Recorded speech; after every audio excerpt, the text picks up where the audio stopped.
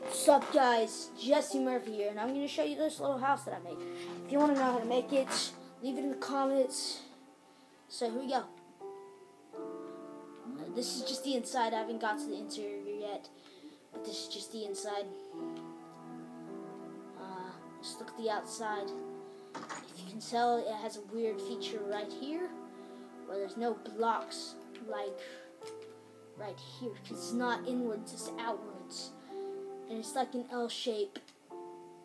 It's a good L shape house, and if you look around it, doesn't have too many. It actually has good windows.